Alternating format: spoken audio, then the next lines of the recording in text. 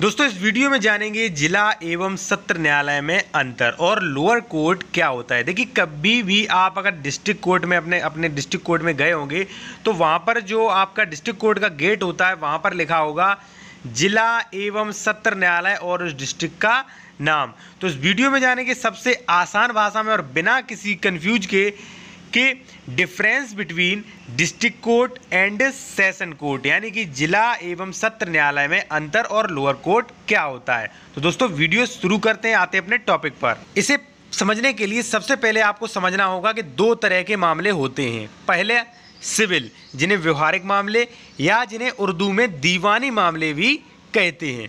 दूसरा होता है क्रिमिनल केस यानी कि दंडिक मामले, जिन्हें उर्दू में फौजदारी मामले भी कहते हैं। अब आप समझ गए, देखिए, दो तरह के मामले होते हैं और यही मामले, यही केस डिसाइड करते हैं जिला और सत्र न्यायालय को। अब बात करेंगे जिला एवं सत्र न्यायालय में किस प्रकार से अंतर होता है। दोस्तों, इससे पहले आपसे रिक्वेस्ट है कि अगर आपने अभी तक चैनल सब्सक्राइब नहीं किया तो चैनल को सब्सक्राइब करें और वीडियो को लाइक करें।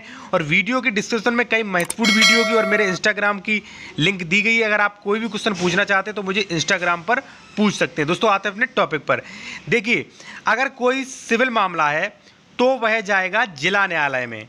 वहीं अगर कोई क्रिमिनल मामला है तो वह जाएगा सेशन कोर्ट, यानी कि सत्र न्यायालय में।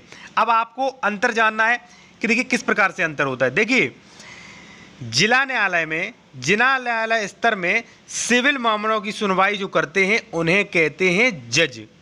और जो क्रिमिनल मामलों की सुनवाई करते हैं, उन्हें कहते हैं सत्र न्यायाधीश। ध्यान रहे कि अगर आपका मामला जो है वो जिला न्यायालय में पहुँचा, और यदि वहाँ जो जिला न्यायालय में देखिए सिविल केसों की सुनवाई होगी तो वहाँ पर वो बोले जाएँगे जज, जिला जज। और यदि मान लीजिए आपका कोई क्रिमिनल मामला है तो आपका मैटर जाएगा सेशन कोर्ट में, और वहाँ जो उसकी सुनवाई करेंगे, वो बोले जाएँगे सत्र न्यायाधीश।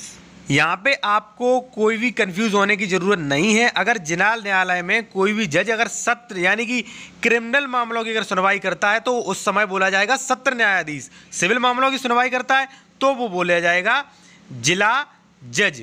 देखिए, आपको यहाँ पे बिल्कुल कंफ्यूज होने की ज़रूरत नहीं है। ऐसा नहीं है कि सत्र न्यायाधीश कहीं अलग से आते हों, या मान लीजिए जो जिला जज होते हों, वो अलग से आते हों। ऐसा नहीं है। अब दोस्तों बात करेंगे लोअर कोर्ट की। लोअर कोर्ट की और सिविल जज की और जुडिशियल मजिस्ट्रेट, यानी कि न्यायिक मजिस्ट्रेट की। देखिए, डिस्ट्रिक्ट कोर्ट से निचली अदालत होती है लोअर कोर्ट। जैसा कि मैंने बताया, डिस्ट्रिक्ट कोर्ट में अगर कोई सिविल मामला या मान लीजिए क्रिमिनल मामले की सुनवाई करता है तो वह जज होता है। ठीक? और अब अगर बात करें लोअर कोर्ट की तो देखिए, लोअर कोर्ट में सिर्फ़ दो लोग सुनवाई करते हैं। पहला सिविल जज दूसरा, न्यायिक मजिस्ट्रेट। देखिए, अगर आपका मामला कोई सिविल मामला लोअर कोर्ट में चल रहा है तो उसकी जो सुनवाई करेगा, उसे आप कहेंगे सिविल जज। और यदि आपका कोई क्रिमिनल संबंधी फौजदारी का मामला है और वो लोअर कोर्ट में चल रहा है तो वहाँ पर उसकी सुनवाई करेंगे न्यायिक मजिस्ट्रेट।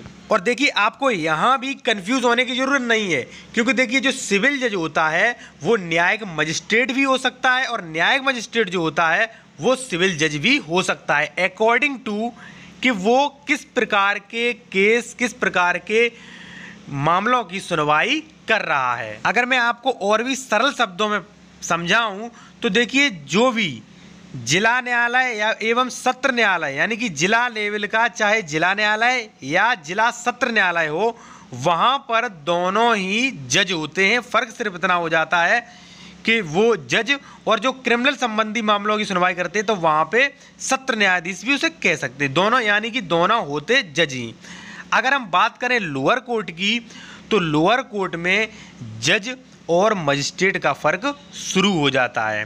क्योंकि जो सिविल मामलों की लोअर कोर्ट में सुनवाई करेंगे, उन्हें कहा जाएगा सिविल जज, और जो क्रिमिनल संबंधी मामलों की सुनवाई करेंगे, उन्हें कहा जाएगा न्यायिक मजिस्ट्रेट जुडिशियल मजिस्ट्रेट इसी प्रकार से जब फिर ये लोग हाई कोर्ट में पहुँच जाते हैं तो हाई कोर्ट में उन्हें कहा जाता है न्याय मूर्ति तो दोस्तों, वीडियो अच्छा लगा हो तो वीडियो को लाइक ज़रूर करें और वीडियो की डिस्क्रिप्शन में जाके मुझे इंस्टाग्राम पर फॉलो करें और मेरे नए चैनल को सब्सक्राइब करें और कोई भी कमेंट हो तो आप इंस्टाग्राम पर मुझे कमेंट करके ज़रूर पूछ सकते हैं।